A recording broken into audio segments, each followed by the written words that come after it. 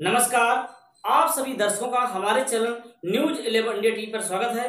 मैं हूँ आपके साथ दिनेश सिंह कुशवाहा। अब बढ़ते हैं बड़ी खबर की ओर।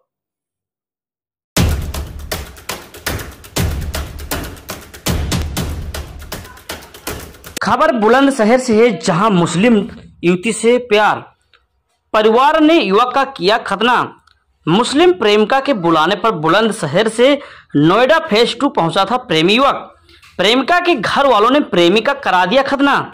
समुदाय विशेष की युवती से इश्क प्रेमिका के घर वालों ने करा दिया खतना। अब धर्म परिवर्तन का दबाव। प्रेमी युगल एसएसपी बुलंदशहर से लगाई न्याय की गुहार। एसएसपी ने थाना पुलिस को दिए जाँच के आदेश। थाना गुलाहटी क्षेत्र का रहने वाला है प्रेमी। ग्रेटर नोएडा के पास फ़ेज़ टू की रहने वाली है प्रेमिका। आप देख रहे हैं न्यूज़ इलेवन से दिनेश सिंह कुशवाहा की खास कवरेज।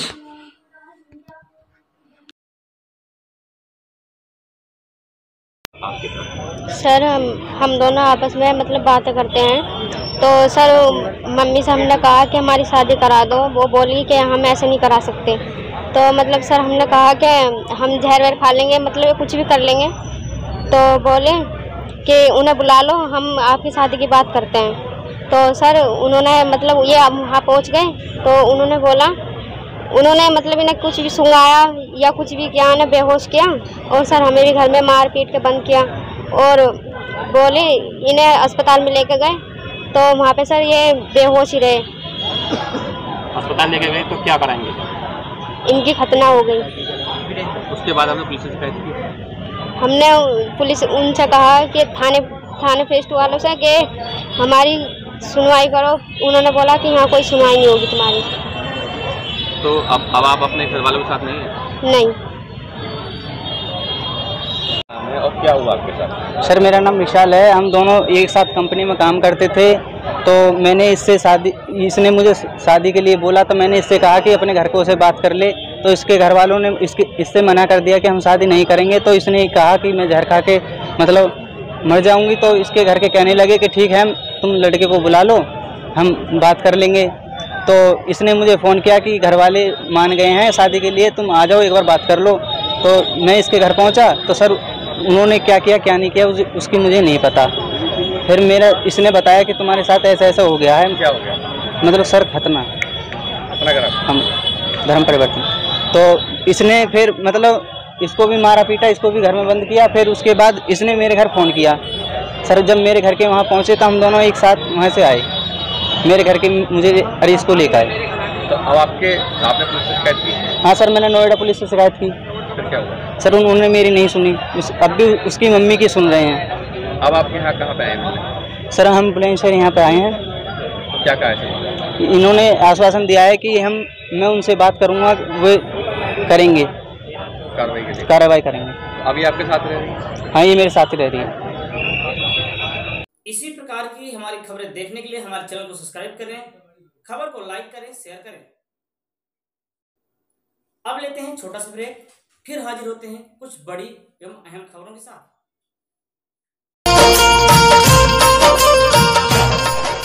जी हाँ दोस्तों नमस्कार। कृपया ध्यान दें आपके क्षेत्र पहाड़ी में दिनेश कुशवाहा पैथोलॉजी अस्पताल, वर्षों पुराना एवं जाना पहचाना, विश्वसनीय एवं आधुनिक पैथोलॉजी अस्पताल, दिनेश कुशवाहा पैथोलॉजी अस्पताल।